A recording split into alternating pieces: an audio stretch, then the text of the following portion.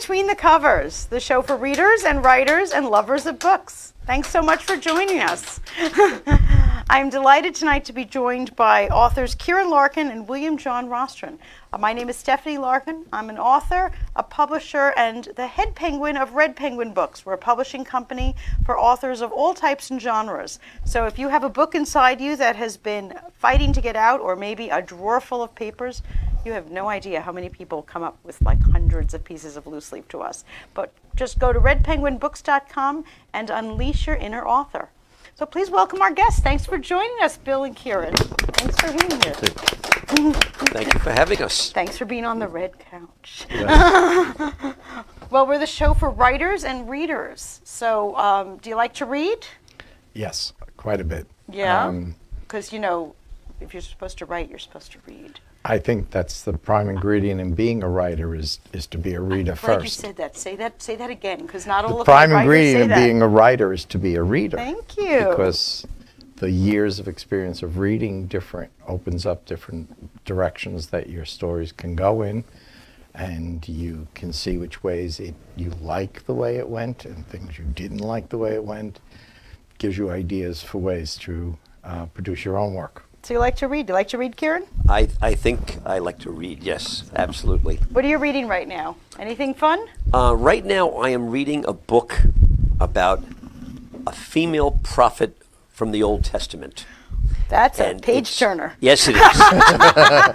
Especially um, considering the, the point of view taken by the author. Oh, okay. So, um, who apparently is, is looking at the Old Testament and looking at anagrams and special codes and unearthing, I think, heretofore undiscovered information. So it's kind of interesting. So it's the Bible and it's mystery at the same time, I think. Well, that's a research book, I'm guessing. Yes. Um, you reading anything for fun right now, or no time for fun because you're researching? Well, that doesn't necessarily move away from fun. That can be fun too. Um, it, it's it's fun in its own way. But otherwise, I, I really like reading political thrillers and stuff. All right. And how about you? I like reading political thrillers, but I, uh, th- you, you ask for books that stick out in your mind. Yep. And the ones that always stick out in my mind are yes. Uh, this is a little known book, um, and the way to, the best way to describe it it's it's a what if. What if something happened different in history?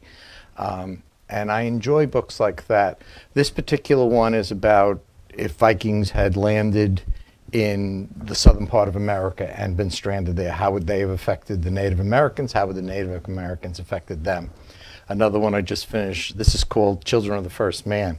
It fo- this follows a thousand years of how they progress as they as they are affected by each. And the author actually used real places that are found in the United States that nobody knows how they got there. For example, there's giant hills in the middle of Illinois, Cah- Cahokia, and they don't know why the Native Americans built these giant hills. Well, he He explained. he has a fictional way of what they were. Um, another book that I'm reading that uh, is the Clash of Clash of Eagles, which supposes that the um, Roman Empire never fell, and because the Roman Empire never fell, they're the ones who discover America, which leads to a conflict between the now uh, second millennium Romans uh, interacting with the Native Americans. So you've read about the Romans discovering America. You've read about the Vikings being the ones who were spearheading the Americans, um, and we've actually had, I guess, the the Spanish, the Portuguese, the British. Which which is the best reality? Which would have turned out the best?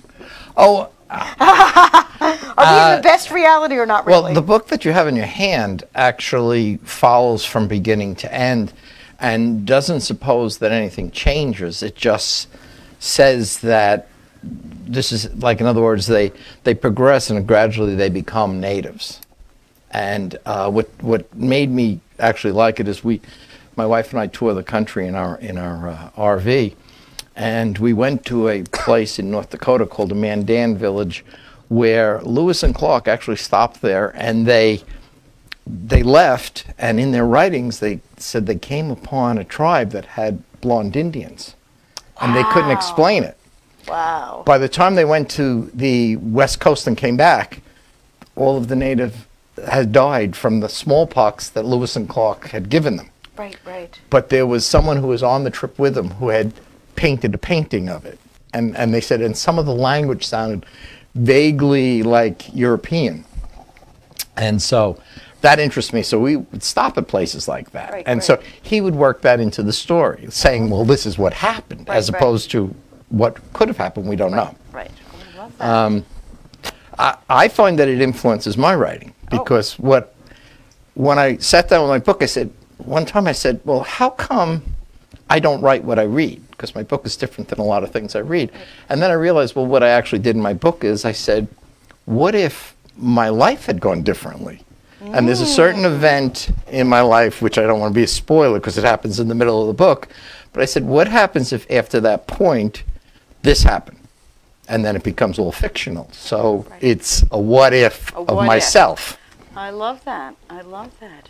Well, we're going to have a short commercial break, but before that, if you've got books at home that you've already read and passed around to your friends and already loved, and you don't know what to do with them, please visit thebookfairies.org. The Book Fairies collect over 50,000 books every month of all types. They can be children's books, adult books, cookbooks, test preparation books, whatever you might have.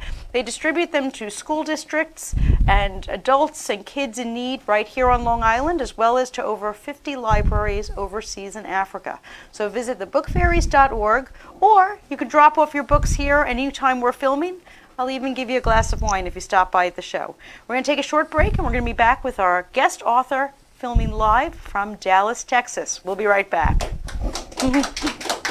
Writing a book is the adventure of a lifetime. Red Penguin Books take pride in giving our authors a publishing experience that is stress free and celebratory all the way. Some of our authors first approach us with no more than an idea for a book that's ready to sprout. Others submit completed manuscripts. Whether you're at either end or anywhere in between, our goal is to get you published. At Red Penguin Books, we offer options and opportunities that are unique in the world of publishing, and all of them are designed to keep you, the author we so deeply respect, in the driver's seat, unlike other publishing houses. So, if you want to write a book and are looking for a publisher, we've got you covered. Red Penguin Books deal in publishing services, book development, and ghostwriting for digital, print, and audiobook. Call us at 516 448 4993 or visit our website www.redpenguinbooks.com.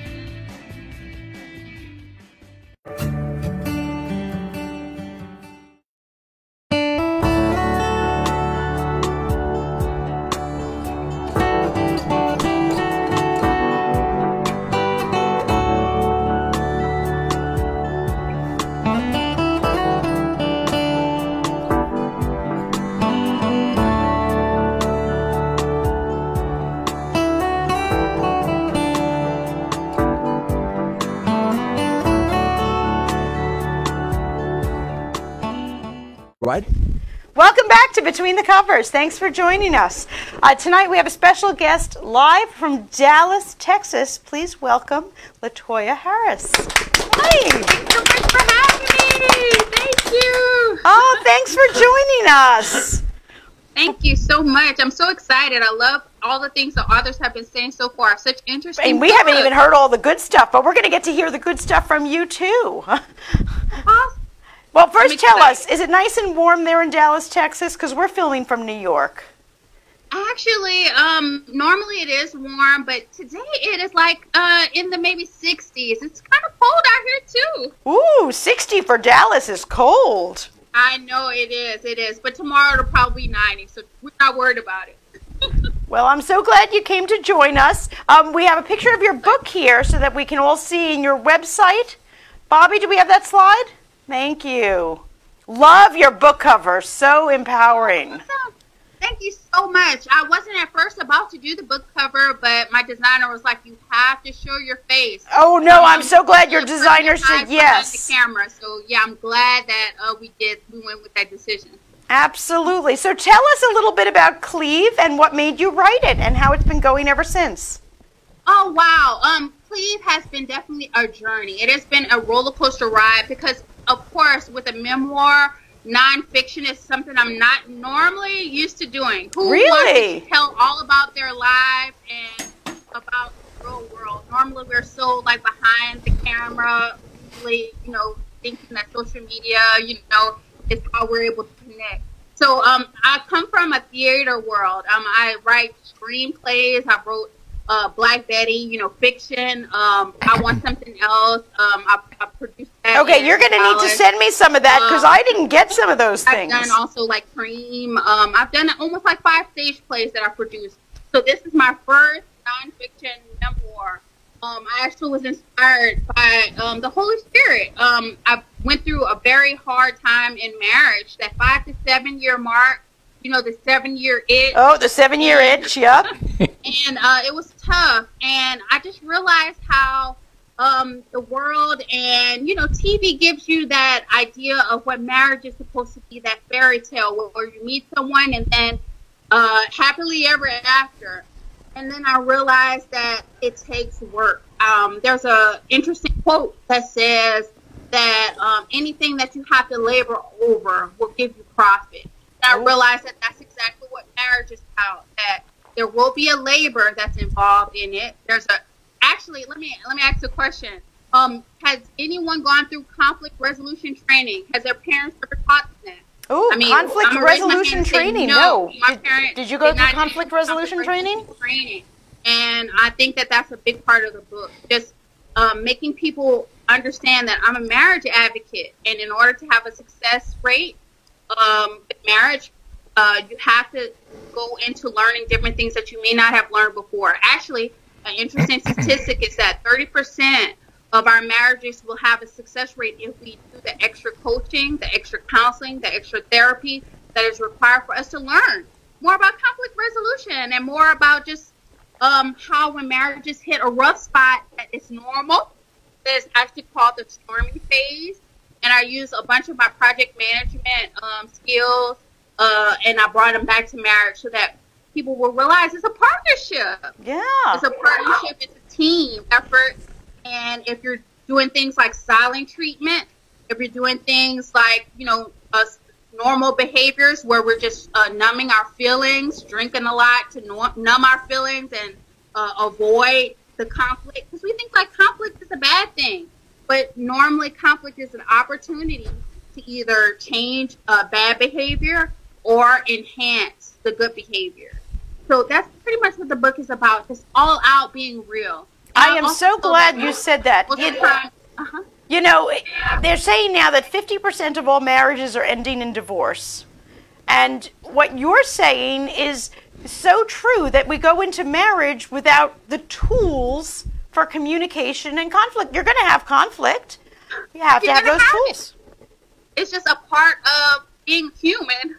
Uh, my experience is going to be different from your experience, and most of us say that uh, you know marriages end in irreconcilable differences. But I mean, we're all different. Who told us that lie that we're going to find a perfect person who's compatible and we're going to get along for the rest of our lives? That's not true. it's not true, and it's almost like we're set up to think that everything's going to be a fairy tale ending.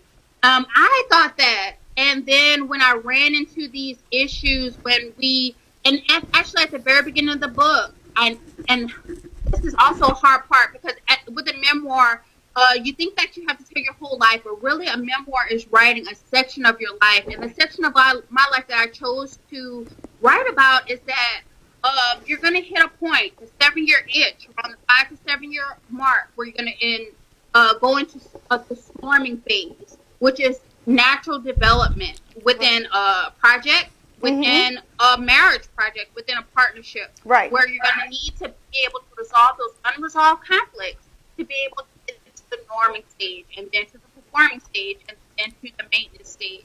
But first, you have to realize that the storming phase is normal Yeah. and that there's going to be some unresolved conflict. And in order to do that, you have to realize that it's normal and that you have to not be afraid. So within important. The book, frameworks that will help you get over that mark, that um, hump. Uh, guts is framework. D stands for go first. Most of us think like, oh well, I'm gonna be silent about it. But who has ever had a cut or a bad injury? Mm-hmm. Have you ever decided, okay, well, I'm not gonna talk. I'm gonna just wait for time to heal that wound? No. You go to the doctor. You ask someone to diagnose it. That's the same thing with coaching and counseling and therapy. Of the matter. And spoiler alert: uh, most of the time, the, the communication is the issue and we need to learn how to communication and going to that person first and not waiting for uh, the wound to cause to have infection is the biggest step. That's G. You understand the part that you played. Taking accountability for whatever part you played in the situation, not attacking the person for what you think they should change first, but saying, okay, well, maybe I shouldn't have dropped that dish. Maybe I shouldn't have thrown that picture. I'm sorry for that. Talk about what I think uh, hurt me and being vulnerable. I think that that's one of the big things that women need to learn that we learn to help, we learn to be strong, but also need to learn gentleness and learn the fact that uh, coming to a partner to start that conversation and get hot, mm-hmm. which is another thing, honest, open, and transparent, is the biggest thing that we need to learn. And that's another framework in here. And then, of course, T, uh, taking the time to pause, taking the time to break, meditate on the idea not necessarily going in hot and heavy and thinking like let's have an argument about this. Let's get to the bottom of things. I'm right, you're wrong.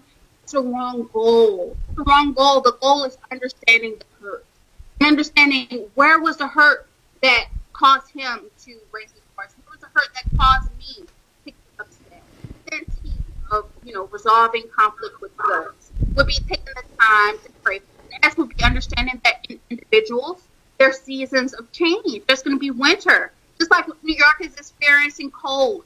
The same thing with the relationship. You're going to experience where things are dying. For me, um, I talk about in the book how my father died and how that affected my relationship and how that affected how we interacted with one another. Right. Do you have right. to understand there's going to be seasons in a relationship. There's going to be winter, there's going to be spring, there's going to be fall.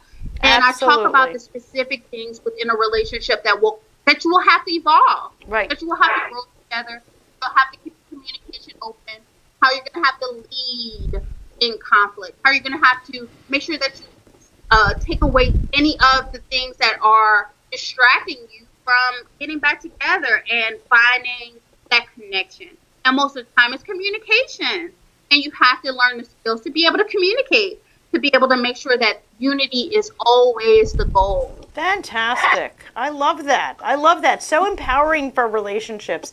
And I love that you you said so much that this is normal. This is what you need to know and to expect. So when conflict comes, you don't automatically just throw in the towel and say, "Well, that's it." When exactly. you realize exactly. I mean, and of course, one important thing that I must uh, also include is that there must be boundaries set. Yes. I think that most of the time with Christian relationships, um, and this is just me being honest. We think that we're supposed to just run a of of, of bad behavior. That's not what I'm saying at all. No. I'm saying that we need to have set healthy boundaries because that's a part of communication too. One of the frameworks that are in the book is um, WOMD, and guess what that stands for? That stands for Words of Mass Destruction. Now there is a play on weapons of mass destruction. words can be used as weapons too. Yep. Triggers that me and my husband had to communicate to say those are words that are off limit that we will not use because guess what? Those trigger me and those make me want to break a dish. Those make me make me want to use words that um, are fighting words.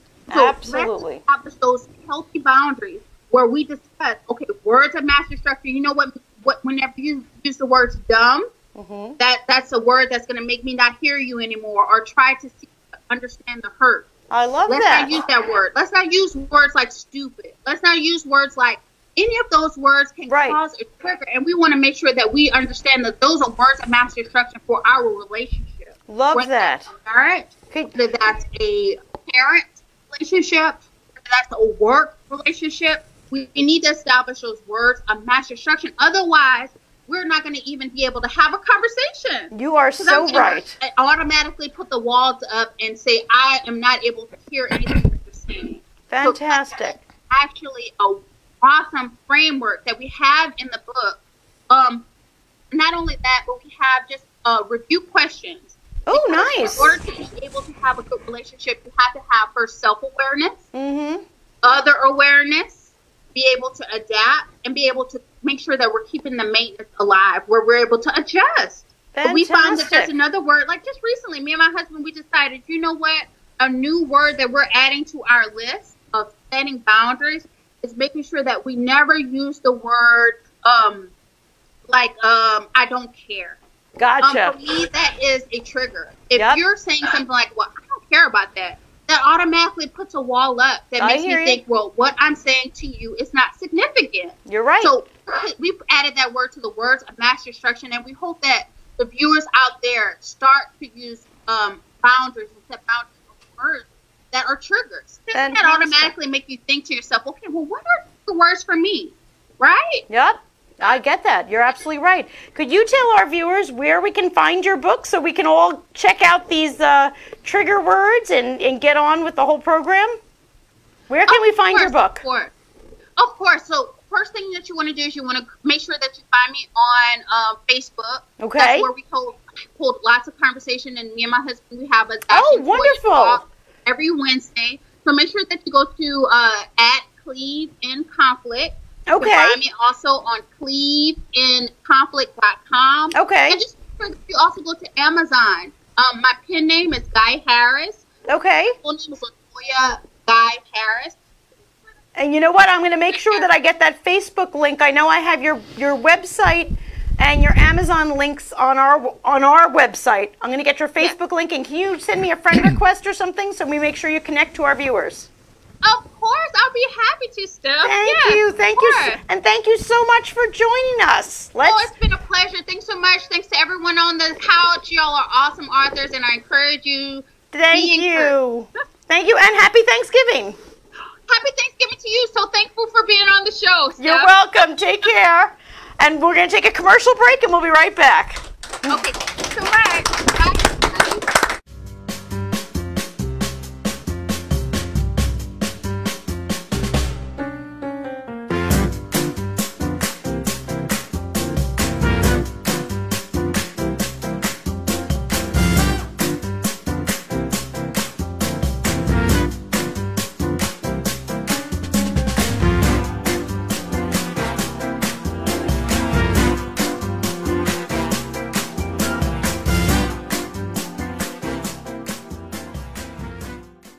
Are you interested in writing but you're unsure how to get started? Or perhaps you're already an author but want to hone your skills and receive supportive yet constructive feedback? Welcome to WebWritersRetreat.com. Developed to help once and future authors like you to gain from positive and supportive criticism of your submissions from other writers and our professional staff, push forward through personal timetables and writing exercise sessions. Sharpen your skills through group coaching and Q&A sessions with literary experts. Receive practical resources such as templates, downloads, links, online courses, and free ebooks. Benefit from book reviews and opportunities to join a beta team to enrich yourself as well as other authors. Save with special discounts for publishing services and online courses, social media, and email marketing, and a whole lot more. Visit webwritersretreat.com and turn your writing dreams into reality. Do you have a book, either in your head or on your desk, just waiting to get out to anxious readers? Hi, I'm Stephanie Larkin, author, book developer, and head penguin at Red Penguin Books. We're a publishing company specializing in books of all genres and publishing in all formats, including digital, audible, and print book. From business books to romance, memoirs to mysteries, our authors have complete control over their books from start to print. We'll help get your book to booksellers all around. Major booksellers such as Amazon, Apple, Kobo, Walmart, even libraries and bookstores around the world. We believe in our authors. So call or email today to get your free publisher's packet to get started. Just visit us at redpenguinbooks.com and get your book out there and into the hands of your readers. At Red Penguin Books, you call all the shots. So call us today and turn your dreams into a reality. Remember that. Welcome back to Between the Covers. Thanks so much for joining us. Well, while we're at commercial, we were talking about traveling, which is uh, my second favorite thing next to reading and writing. But uh, please welcome our next author, William John Rostron, who wrote Band of the Wind, Sound of Redemption, and there's a whole lot more after this, Yes, yes. There's a third book. There's a Make third a complete book trilogy. and all sorts of short stories, Yes. and you just keep writing and writing and writing. I'm retired from my full-time job 15 years ago, and this is what I do: travel and write. Travel and write sounds sounds like the ideal thing to do. Really. So, so tell me about this series. What inspired all of this? Um, it, interestingly, I was been writing for the last 40 years nonfiction. Um, I, I actually started writing in two different directions. I would write fiction when I was a teacher. I would find that some of the things that were um, being given to the kids weren't interesting them, so I started writing my own little short stories anonymously. I never told them I was writing them. really? And, and it was interesting because I'd give them a list of questions to answer, and one of the questions would be is, what did you think the author was thinking here? And what, to this day, unless they're watching this, none, of- my students know. Now you know. And that's and that, and that's how I started writing fiction. I started writing nonfiction as uh, years ago. I was very involved in my school district, and and I started writing things to try and get people to support the budgets of school districts.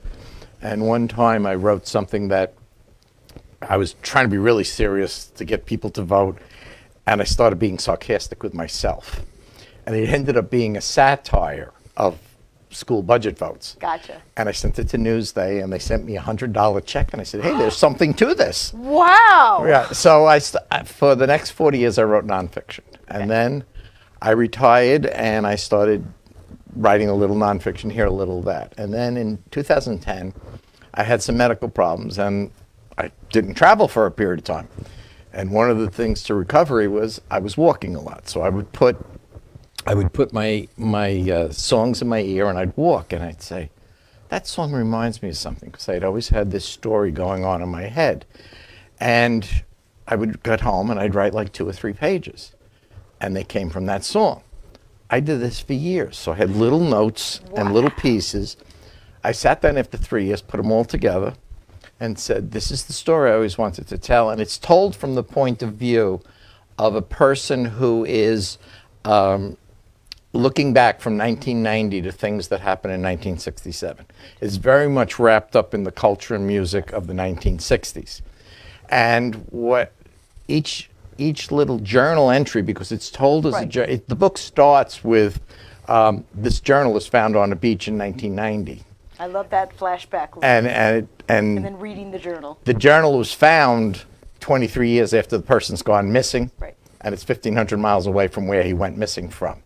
And he says, "I'm going." Um, all the member, I- it's there's a quote of the song "Summer of '69" where it says, uh, uh, "Joey quit and and uh, quit, and the other one got married." Got married. Yes. Right, he got married. And I said in my group they didn't die. Uh, they died, and I had never told the story of what happened to them. They all died, and that's the beginning of his journal. And he's telling the story um, to get over his own demons of what happened in 1967, and it goes through his. As the title says at the top, it says his coming of age, the coming together, and Yes. a coming of tragedy um, and it, and tells a story of how these people bonded, their loyalty to each other, their music that was going to get them out of a very rough situation, and it didn't work. So, interestingly, I had some people say, I wanted a happy ending. I know. I know. I like books with happy endings. I was so glad when you walked in today and you had the second book. I said, I need the second book because you left me without a happy ending. I'm, I'm not convinced I get it with the second book either. well, you have to read it and I guess I'll out. have to read it and find out know, if I get yes. a happy ending. But I certainly didn't get it with the first book. But interestingly, when I finished it's them, real. when I put all these notes together, the book was 900 pages long. I said, "It's not one book. This is three books." Yes. And it took Oh, so you wrote the three. In my head. I put them all together, put them on paper, having no idea how long it would be. Right. And pressed word count. Mm. And it was, was it? 247,000 words. And I said, I think my daughter was the first one who said, that No. can't be. No, no, no. and I said, okay, so first Thank of all, I have to. Thank you for being real. No, So, no. First of all, she went through it and cut out about 60,000 words of Good fluff. girl. If you need a job as an editor, we could use somebody. And then I made it three books. Right. And um, it's funny though, because some people that I had passed on the original long book really liked that little minutia, which is what there's still a lot of it in it, but some of it got cut, details of things that happened. Right. The people who lived through it, some of them really liked it. Right. You know, if you really Well, you know, then your daughter was great eyes. she didn't live through it. She could be more discerning about it. So thank you very yes. much. You are very lucky, by the way. That costs a lot of money, I'll tell you. That kind of good, that kind of editing. I hope that you have reimbursed her in kind. More, criticize him was plenty. I love that. But you did a good job. You did a good job. and that's that's that's the basis behind it was. But this story. wow, I didn't realize they were all written at the same time. The first two, uh, the third was just a uh, an outline. Okay. But the first two, actually, at one time, were one book. Wow. Yes, and uh, So no wonder you left me with one, and I was like, "Hey!" And then you walked in today and said, "You want the second one?" I'm I purposely didn't put out the second one for a while because the first one can just end right there. I mean, it could, but I was very happy to get this one today. so let's all buy both books, folks. right? Yeah, I'm with that. Let's buy both books and the third. Yes. Yes. Absolutely. did Uh, you enjoy the process? And I love that you did worked with your daughter. Yes. I absolutely yes, loved that she was part of the process. She's my conscience. Ooh. Yes. We all need a conscience. But it, the sto- story had been twirling in my head for 40 years. It is based on real real events. Um, a lot of the first part of the book were actual real life events, um, and then the, in the middle there is a life altering event that's true. Right. And in that point, I said, well, what would have happened?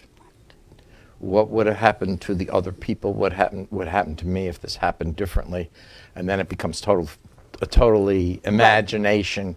None of it really happened, and so on. And uh, and that actually got to be more fun. It, it was fun both ways because I was ca- recapturing certain moments when I was talking about things that were real, and then and then I said, "Wow, now I can just do anything I want." Right. No, I'm I love free that. now. I can do anything I want. In a sense, up until that point, you were almost writing, I'll say, creative nonfiction. Yes. And then once you hit that point, you were like, "Put- pull the plug, do it. You know. Well, I can, I can go fantasy now. Somebody told me that uh, you either have to make it a real memoir, and only famous people write memoirs, and um, or you have to make it straight fiction. And I said, well, no, it's no. fiction written in the form of a memoir, right. and I wouldn't give that up, even though I got criticized love by it. one No, no, person, no. because You don't it, listen to the one person. that is what makes it um, to me uh, in- the, the titles and everything just Right. but that was the hard part to edit because every time i edited it i cut out a title and a memory that brought up that title but it worked Well, that's why you me. need to turn over your conscience. Because Yes, she didn't- yes. She wasn't. she didn't care about Exactly, the she didn't care, and she wasn't. You know, we all fall in love with every single word on Yes. the page, and we are. That's why we can't edit. You know, we can. Why we Right. can't self-edit, and why you need somebody that you won't kill afterwards when they cut all that. then i would get angry because when it got shortened i'd say why didn't i think of saying it that way That's okay. You said it. right You said it in two hundred and ten thousand words. 247 in the Two ri- hundred and forty-seven thousand. all words. built in little notes from my ipod with the song and Oh my god. I had no idea how long it was going to be, but it isn't now. Now, it's, now it's two very short books. Not short. Not short. that short. I mean, you know. Right. They're good. Yeah, this one is 300 pages. Everyone, Right. you know, they're not short books, Right. but but they're doable. Now, you you mentioned that some people liked the unedited version. So that means there were people who read the 247,000 Oh, yeah. words. About 10 of them. You have very good friends. Yes. yes, they were. Wow. Yeah, My wife is going, Yes, I did. You read In fact, she read it three times. Three times? Do you want a glass of wine? that one. you deserve a glass of wine. Absolutely. Good and interestingly, patience. she lived through some of it. Yes. So it was, uh, it, it was uh, the the the creative act brought back memories. And you still like him and travel with him. Married 48 years. 48 years. That's why you knew about the book. That's why you're in the book. Right. But still, I did all this and I didn't really feel it was ready. And then there's an organization called Visible Inc. Um, and I submitted something to them. And they get about 400 submissions and they put like 80 of them in a. And then they put about 12 of them on stage with actors. And I put a small section of the book, I made a, free, a, a self See, you told me like 800 words or something? Yes, it had to be under 800 words. How did somebody who usually writes 247,000 words get down to 800? wasn't easy. it wasn't easy. I mean, I, I mean, my family will tell you I don't do anything short. Um, but I got it down to 800 words, Wow. and they accepted as one of the 12 to put on. And So and um, the video is is available on my website and on Right, right. YouTube. And it um, that gave me the confidence to go ahead and really push the books Fantastic. because up until then, people who like you will say they like your writing, even if they don't. And this was a whole bunch, a whole organization of Actual people. validation. Um, yeah, and so I did that, and so there's the video is called Pretty Flamingo, and uh, it was done actually. Interestingly, it, it's read and performed on stage at the Danny Kaye Theater in the city. And the actor who did it was Mr. Mistoffelees in Cats. Ah. And he told me after the fact, he goes, and uh, and then the next year I submitted another one based on the characters in the book. I sort of twisted things that happened, but they were the same people doing slightly different things. Right, right. And that one was also put on the stage. Uh, and these videos are at your website. It's williamjohnrostron.com. Yep. Yes, we also name. have, I think there was a slide up that has your website, and we also have your website and book links and everything on our website, so we can push them out. Yes. Because there we go. There, there's, There it is. There's a picture of the first book and the link to the website where the videos of these. Yes. So if you want to see how we got from 247,000 words down to 800, the link is right there. so you can watch the video. Yes. That is fantastic. Well, we're going to break for a short commercial. I want an autograph because you're going places, man. You are absolutely going places, okay? We'll be right back after this.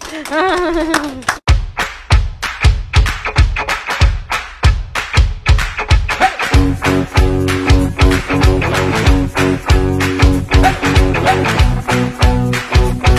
hey.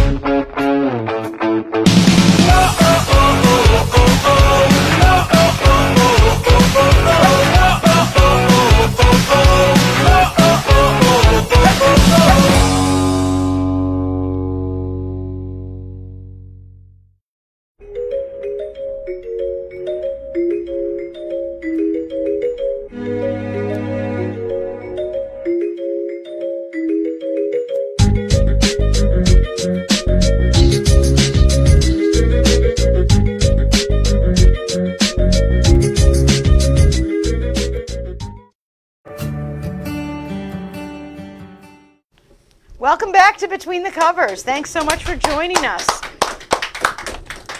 While I adore every single author that we have on Between the Covers, I must admit that I have a favorite.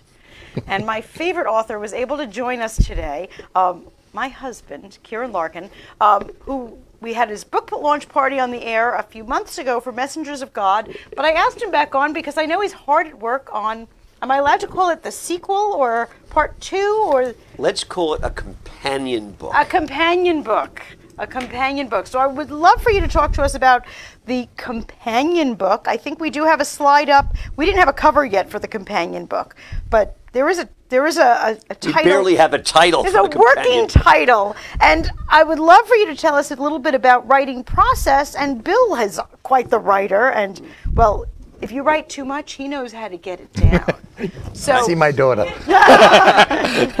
So I figured this was a great forum for talking about writing process while we have someone who's in the throes of Well, it. I, I certainly may need, need to use you two as consultants. so tell us about the book and the companion. Well, I guess the story behind the book is, is, is really a simple one. Um, like you, Bill, I was a teacher. I'm a teacher. Still are. And um, I had the latitude as a high school teacher of being able to create one or two of my own courses. So I have uh, created a course on the Old Testament prophets. I'm a religion teacher.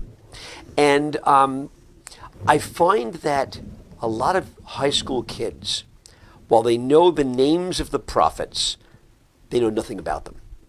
You know, they're just names because I think that on the grammar school level, even on the high school level, they just aren't explored depthfully.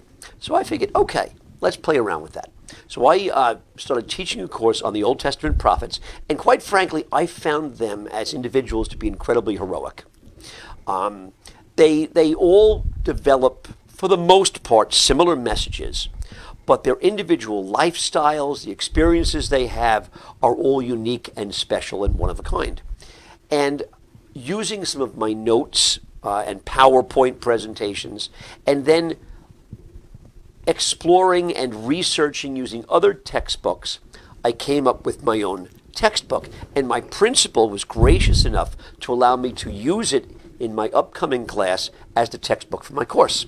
So I'm very excited about that. I've never used a textbook for this particular course except the Bible. Never mind one that you wrote. That's right. So now the now the kids can. Uh, See, now can Bill's going to want to go back and quit- Right. stop being retired so he could write his own text. Well, I will say this now, Bill. You have uh, written both both fiction and nonfiction. I am dazzled, absolutely dazzled by anyone who can write fiction. Yeah. Who can create an entire storyline filled with details and fictional characters. I don't have that level of creativity. I find with something like this. I've got material out there already. It's really a question of taking material that already exists, compiling it, researching it, putting it together, molding it in a way that I like, that makes sense to me.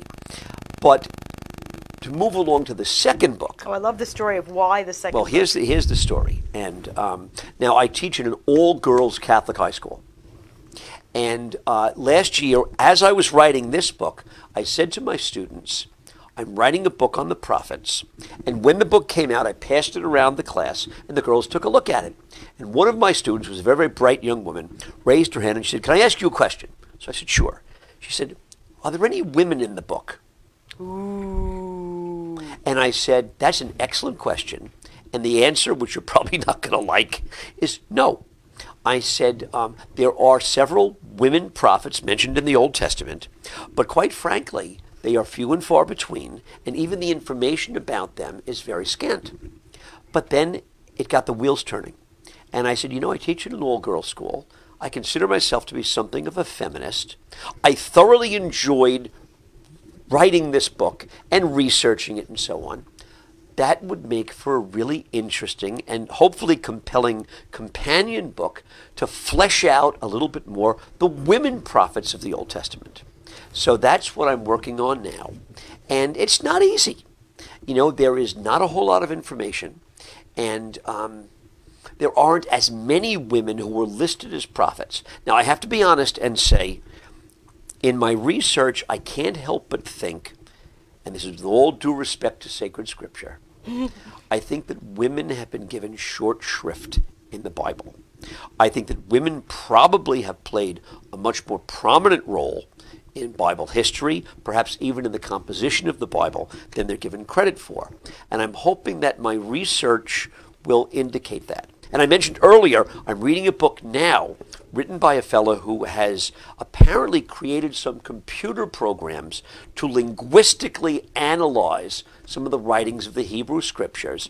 And he's of the opinion that there are women, one in particular, um, who is absolutely central to the entire composition of the Old Testament and yet is virtually ignored.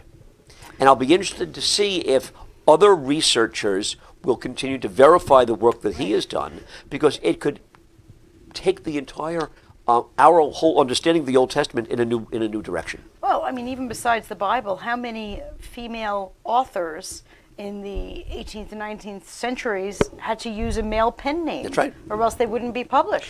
Even J.K. Rowling, in writing the whole Harry Potter series, She used deliberately JK. used J.K. because she didn't Right. want to advertise that she was a woman. So Well, certainly, it's if, nothing that's you changed. know, 15 years ago, people were trying to blur the lines. You can only imagine 3,000 years ago how many women were actually attributed to other people in their lives and such. Now, as far as uh, the writing of the second book is concerned, you know, um, I've been exploring websites, short stories, not short stories, short articles, I should say, scholarly articles, and other textbooks that focus on women in the Old Testament.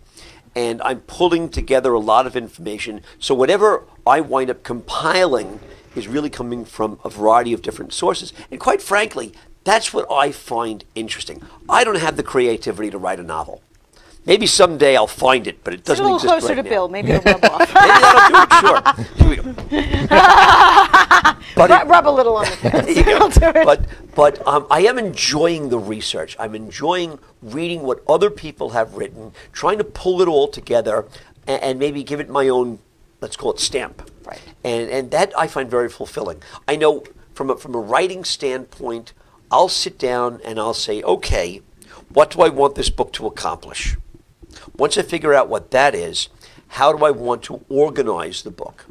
And once I figure out how I want to organize it, then it's really a question of going back and starting to sketch in the details where I can. right. You know, I, I think there's a, there's a there's a methodology for me. Okay. Um, maybe other people have other methodologies, but that's that's where I'm going with this. Right. A- Any any tips?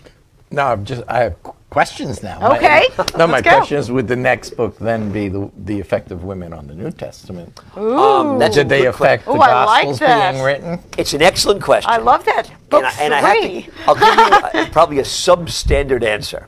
Um, Okay. well, the thing is, as a as a religion teacher, I teach courses in the Old Testament.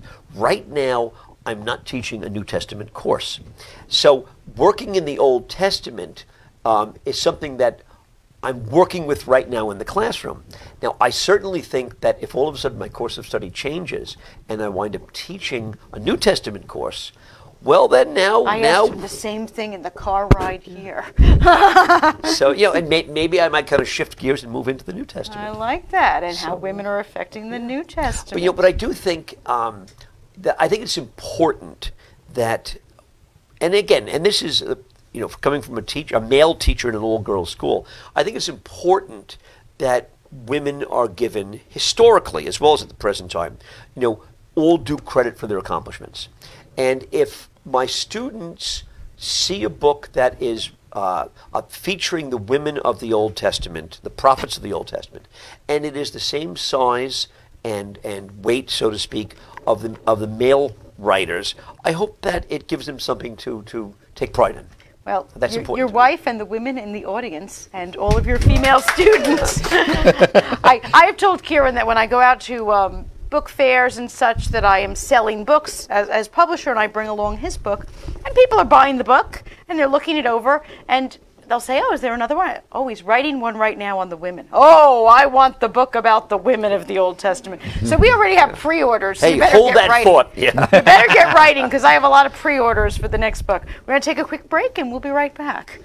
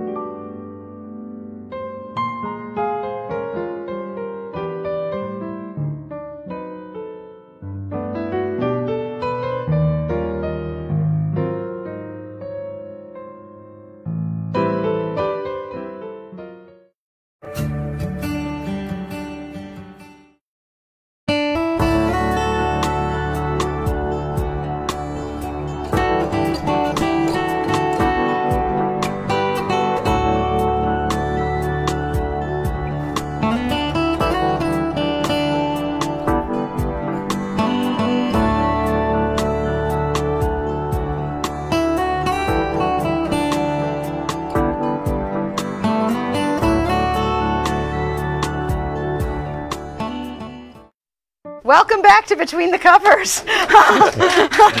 you have no idea, the, the viewing audience. You're missing all the fun here in the studio tonight, that's for sure. Well, I know that besides people who love to read watching the show, we have lots and lots of prospective writers. Um, they say 90% of the population wants to write a book. So we have two writers sitting here on the couch, and we have some audience members who have been very involved in these books. Um, any tips for our future writers out there?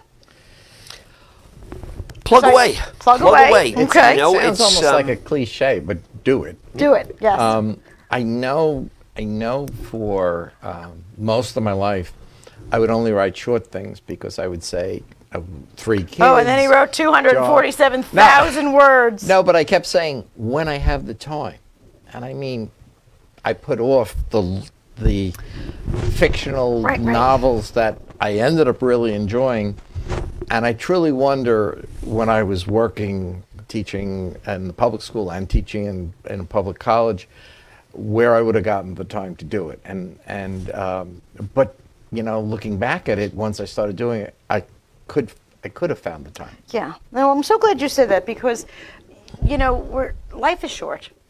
Write the book. Right. You know, and yes, we are monumentally busy, but when there is something that important, we do find the time. I also found that I found the time more often when I started enjoying it more. Right. Uh, when I was writing nonfiction and I was writing things for Newsday and other publications, I would some issue would hit me, and I'd get really, I'd really get emotional about it. I'd sit down and I'd write it in one shot, edit it, give it to my wife to look at, my daughter to look at, friends at work, and I'd come up with a perfected copy. But it was it was a process of two or three days. Right, right. And I kept saying to myself, I don't have the time to do that long term, and and I really probably should have. Right, right. Um, so it, yeah, really, and when I started doing something that was this long, I I'm really enjoying it. Like I'm sitting down with the third book and I'm going, well, I could do this. I really got a good idea. I'm Oh, gonna-" I love that. and uh, and I sit down and I and, And I you do, do it. it. Bill, did you find that just getting started was the, the tough the toughest Oh, hurdle? the absolute. hard- like Really? I said it took a case of where I was literally could not do anything else for a period of about six months, and I, you're sitting around. There's only so much TV you can watch. There's only so many books you can Read, read, and then you say, "Well, I want to do something different." I said, "Well, I've been waiting to do this," Mm. and I would sit on the porch of our house, and I, had the laptop out, and I and again I'd walk right. up. here's here's two pages. Here's a journal entry into Right, right. The, the main The character, Johnny right. Sip. The the journal of Johnny Sip. yes. So here, Journey, and they didn't come in order. Like it was Really? here, here, here. Oh, wow. And So I was sitting there. Well, maybe if I put this one here and that one there and that. Right, right. And that took a while, and they were all short little pieces. I literally made each one a separate file on the computer, Wow. and then I had, and then putting them together had to be A production and a half. cut and paste, cut and paste, cut and paste, cut and paste. Wow. Um, but yeah, it really was a process where you had to do it, and So just um, do it. and you have to enjoy it. You can't you can't think of it as a job. Like when there were three kids running around the house, and I was teaching and all, I would say, well, if I do this, I'm giving up doing that or this or this. and your wife is and it- glad that you waited. and um, but now that I have the time, um, it really is one of the joys. We we go away a lot, and we the month of September we spend down south, and we have a place right on a pond. And I take the laptop out and I sit by the pond, and and in fact we we go for the winters a lot of time. We go to Key West, and Nice. a lot. Every one of the three books begins and ends in Key West. You and Hemingway. well, I went to Hemingway's house. I'm not Hemingway, but I saw his house. And all those six-toed cats. and all those six-toed cats. Do you have and there are a lot of them. too? Yes, there are. So you could channel some Hemingway into Yes. this. Well, eh, a lot of the, the, the scenes, to be realistic, you, you you know, I would say, well, I remember this, I remember that, and you can be very descriptive when you've actually seen When the you've actually things you're seen it. putting into the. Well, that's what I love about actually going to the places. I don't know. I think I'm going to have to take a trip with you to the Holy Land if you want to research the book and really be there. that would be helpful. That would be helpful, he says. All right. So, so just do it. Plug ahead, and and Key West is never a bad thing. Is that what no, you're saying? No, never. Okay. never. Once you get past those first few paragraphs or pages, Yes. then it becomes so much easier. I think it's that that's the hump. It's like just Get starting, past the hump, and starting. it just flows after that. I Well, think. Yeah, it also gets easier when you, like, I had all these little pieces, but mm-hmm. once I had a direction, like when I, when I started the third book, I kept saying, "Well, I know where I want to begin it, and I know where I want to end it." But when all the little pieces started to fit in the middle, I said, "Oh, it isn't written yet, but I know but exactly you know where exactly it's going." where it's going to go. I love that. Well, I hope that you've inspired some of our viewers. Um, all of our authors tonight, their books, their links to their websites, please support our authors, can be found at betweenthecoverstv.com. And I'm going to ask all of our authors to please send me any events, readings, and future books. And when book three comes out, I think Bill is going to have to join us back on the couch. Okay? Thanks for joining us at betweenthecoverstv.com and have a happy Thanksgiving.